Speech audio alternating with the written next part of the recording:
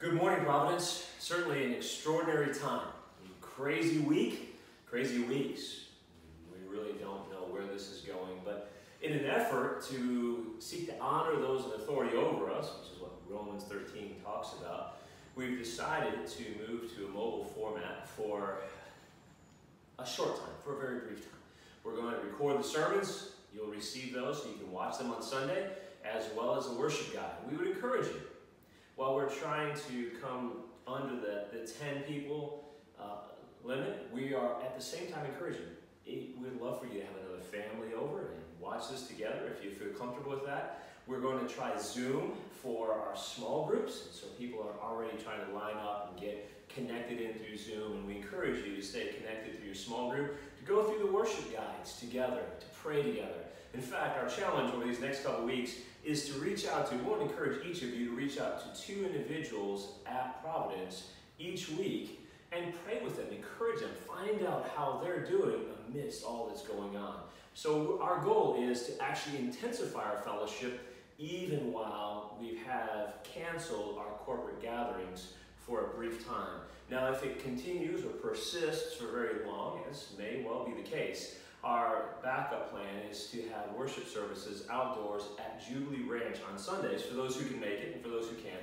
We will again record it. So we love you. God loves you. We're thankful that you're with us this morning to go through the Word together, and we encourage you to keep fellowshipping together. Now, before we jump into the message this morning, uh, in the midst of this, there seems to be a lot of questions. What is the appropriate response for Christians when here we're to be in fellowship, and some churches are closing and some aren't, and certainly what do we do with, should we still shake hands? Should we, uh, is it okay to wear masks around one another? Or whatever the case is. And again, this comes back to what Romans 14 says. There's not a right or wrong.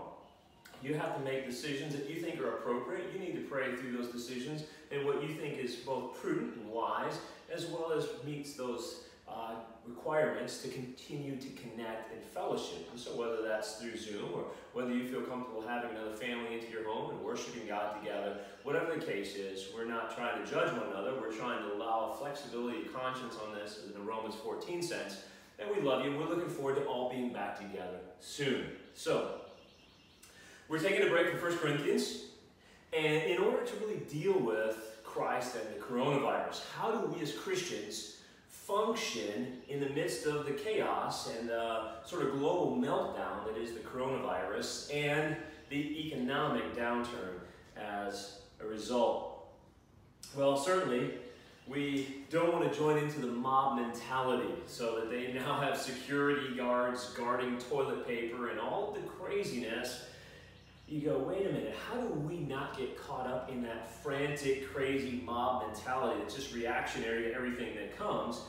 And instead walk in peace. In fact, I think that's what God wants for you. It's what God wants for me. He wants us to walk in peace. And I think that sets us up to be a testimony to a watching world in an amazing way, and it gives us opportunities for the gospel in, in, a, in a crazy day that we might likely not have if things were much more calm and much more business as usual. But I do believe peace is a biblical response to the coronavirus. Because we can't control what happens, but we can control who we are. And we're people who have been given God's peace. And so I want to start with a verse out of John. John chapter 14 and verse 27. We're going to jump around. We're going to deal with a number of different verses this morning. But John chapter 14 and verse 27 says this Peace I leave with you. My peace I give to you. Not as the world gives do I give you. Do not let your heart be troubled, nor let it be fearful. That's a good word for us. Did you realize that God had given you peace? It might seem strange because you say, well, isn't peace an emotion? How could God leave that with me? How could God give that to me? But if God has given you peace, you need to be asking, are you functioning in peace? When people look at the variety of people around you, do they look at you and say, they're peaceful, they're at rest, they're trusting God? You see, peace and walking in peace is what God wants from you and I in the midst of the coronavirus. And so we need to understand how to experience that peace that God has given us already. And so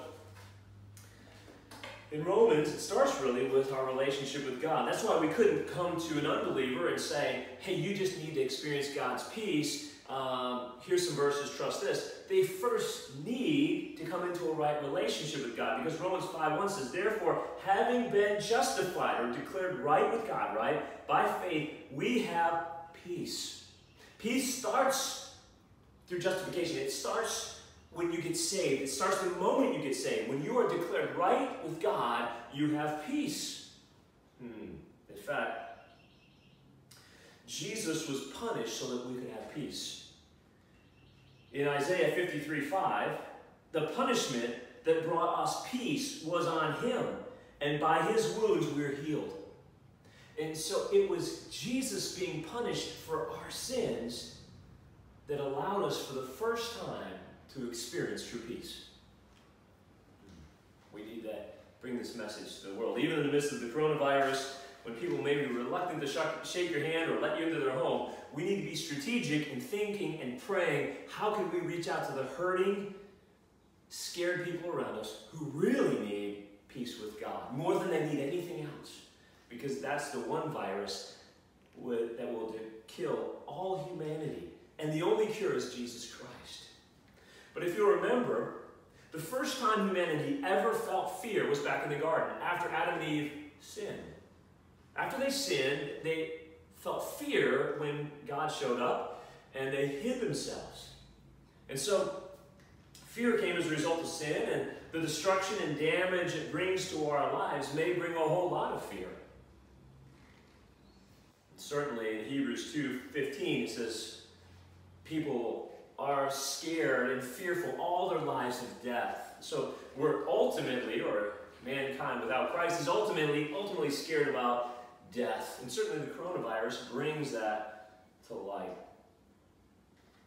And still, many of you might think, man, I know God, I've been saved, but I'm fearful. I'm, I'm looking at my job situation, I'm looking at my financial situation, I'm looking at my health situation, I'm looking at these things, and, and, and I know that God has brought me peace with Him in a salvific way, but I'm not experience, experiencing peace in a practical way in my life. And I believe God wants you to walk in peace. I believe He wants you to experience peace. And so let's talk through that. The penitent woman who wept at Jesus' feet found peace. In Luke 7.50 he says, And he said to the woman, Your faith has saved you.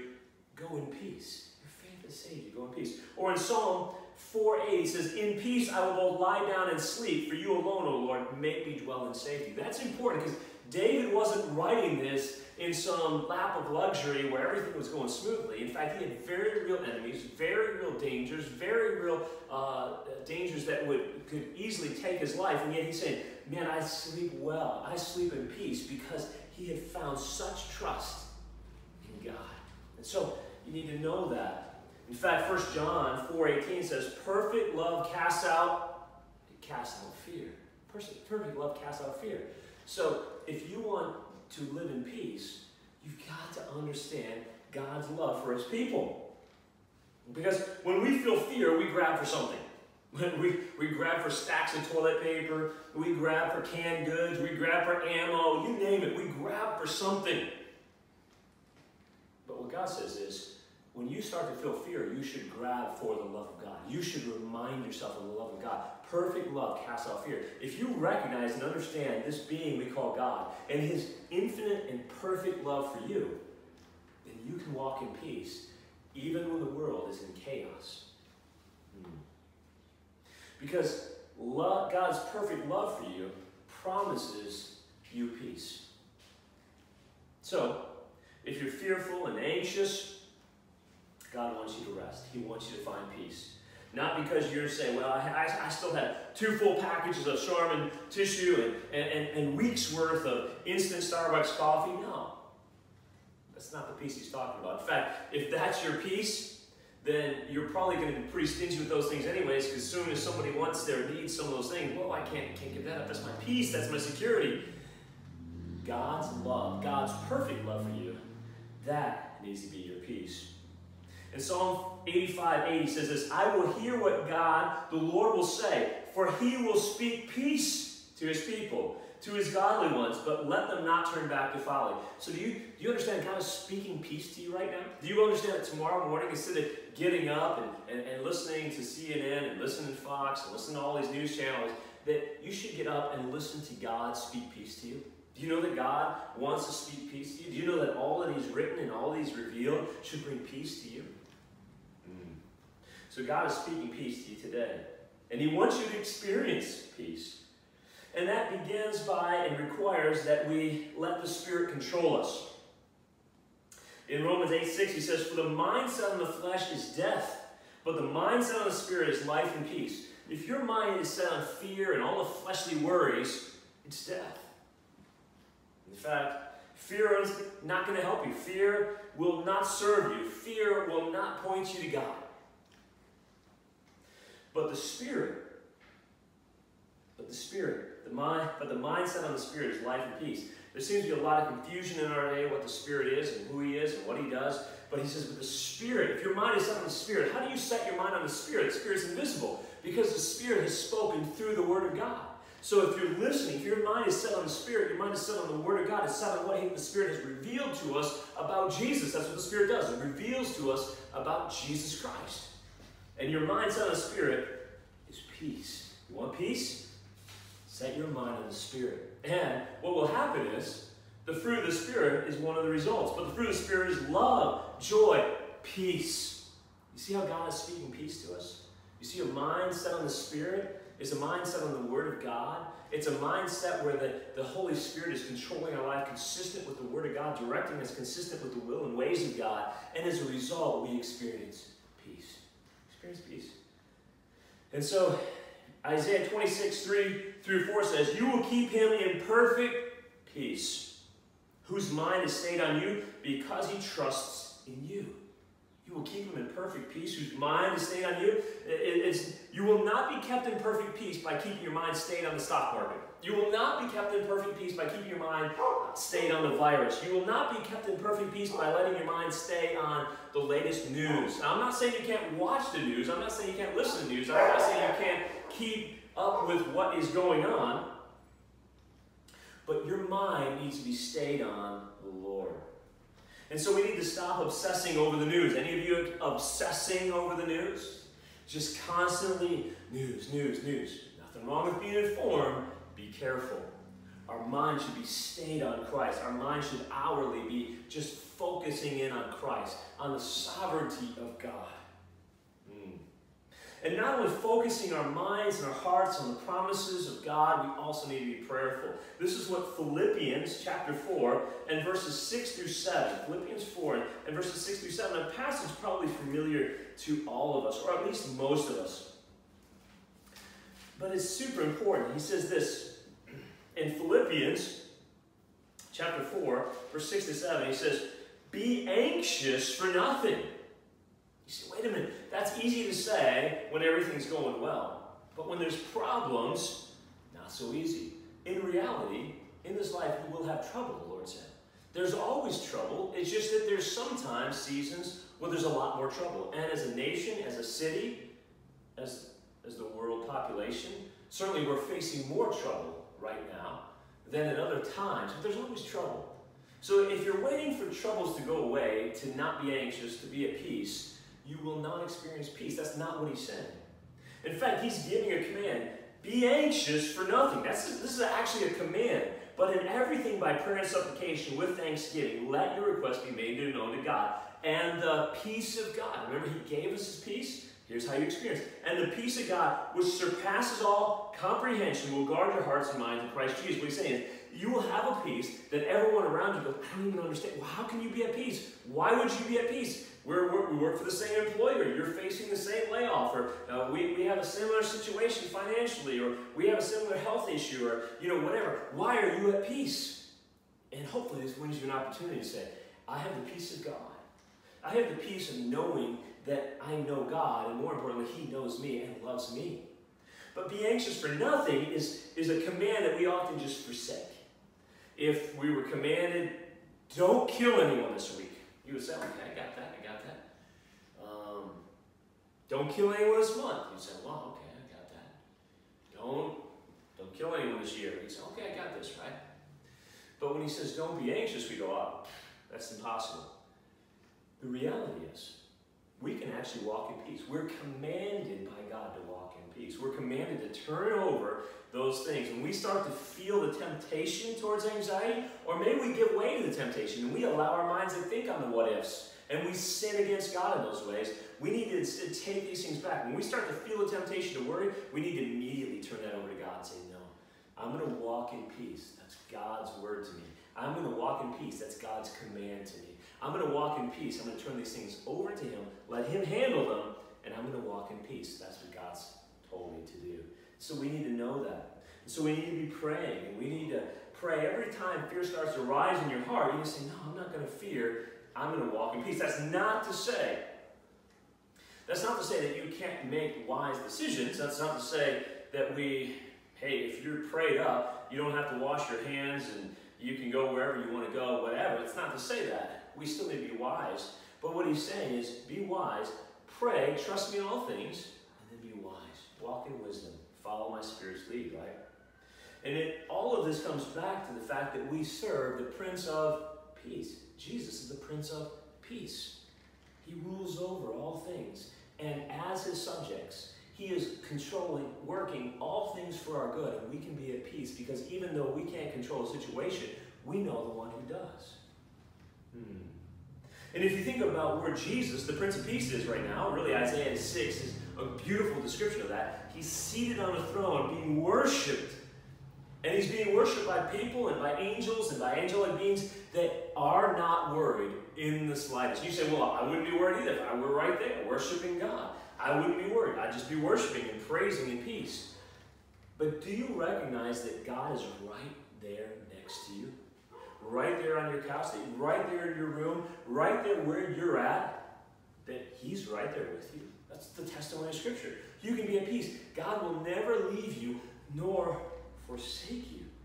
In fact, Matthew 28 20, I am with you always, even to the end of the age. Hmm. Important to know that, important to believe that, important to recognize that. God's with you, God's got this. Isaiah 57, in verse 19, he says this Creating the praise of the lips. Peace, peace to him who is far and to him who is near, says the Lord. And I will heal him. But the wicked are like the tossing sea, for it cannot be quiet, its waters toss up refuge and mud. There is no peace, says my God, for the wicked.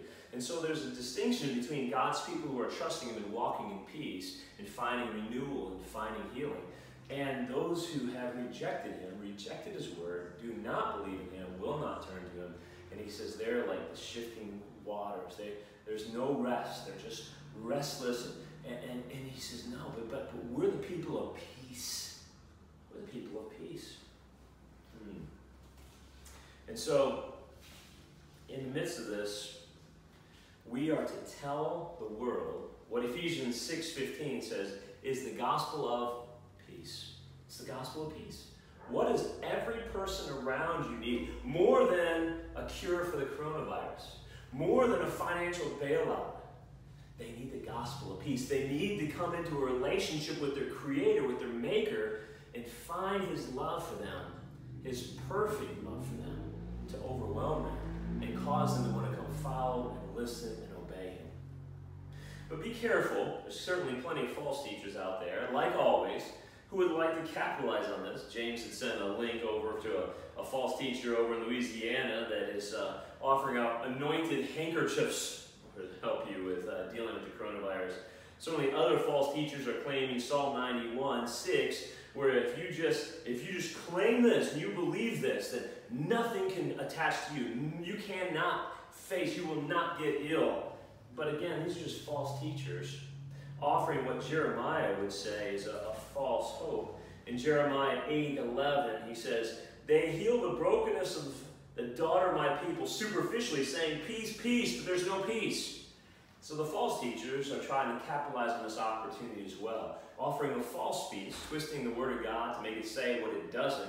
The fact is, God is in control. God protects us, and God will keep these things away from us unless He desires or decides to allow us to go through difficulty, which difficulty is certainly one of the things that God often uses to develop us and make us like Him. That's why Paul had a thorn in the flesh that after praying three times it wasn't removed. He realized that God was doing a work and humbling him. And so we need to recognize through this time that God is humbling us, that God is drawing us near, that God is allowing what He allows for a purpose that He has for us, and that His purposes are always good to us. He's some good to all, that's us, and all He's some good to all, that's the world, and all good to some.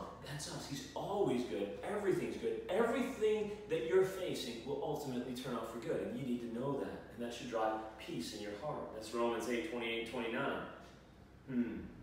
And so, instead of claiming, naming, and claiming Psalm 91, we pray, we trust God, we pray for health, we pray for the finances, we pray for one another, we encourage one another, we wash our hands, we make wise decisions, we know that God's walking with us, that God's providing for us, that God cares for us, that God loves us perfectly, and that He's going to walk with us through all of this. And that His purposes are that we become more and more conformed to the image of His Son, Ephesians 5 1, but also that we be the mouthpiece for God and the example of God here on this earth. So we need to be about His work and proclaiming His gospel. So, I believe that God wants you and I to walk in peace. I believe His word to us is peace, that He is speaking peace to us. And so I would just encourage you that when you think of the most peaceful person in life, when you think of someone who is, who is living in perfect peace, I hope you come in certain people's lives and the people around you. When they think of someone peaceful, they think of you. That you are actually believing the Word of God and at peace. I believe that's God's Word to you. I believe God wants you and I to walk in peace. And so this week, I just encourage you, stay in the Word. Don't obsess over the news. Um, it's fine to keep abreast of what's going on, but focus your mind on the Spirit, and what He's saying to you about God through the Word of God. Stay in fellowship, stay connected. Encourage one day after day, as long as it's still called day. Call one another, text one another. In small settings, get together, encourage each other. Get on Zoom. Spend time with your small group this week. Love on them, pray for one another. This is a great opportunity for us to build fellowship and to reach out to others in our fellowship that may not be as regular. This is a good opportunity to draw those in as well. God loves you, love you. We're looking forward to being back together corporately. So this brief stint, hopefully, uh, we it comes uh, to an end sooner rather than later. And certainly, as we said, there's a backup plan if these things persist. We'll start trying to meet outdoors in a worship service. So we thank you for listening. We hope you have a, a great week in the Lord, walking in peace.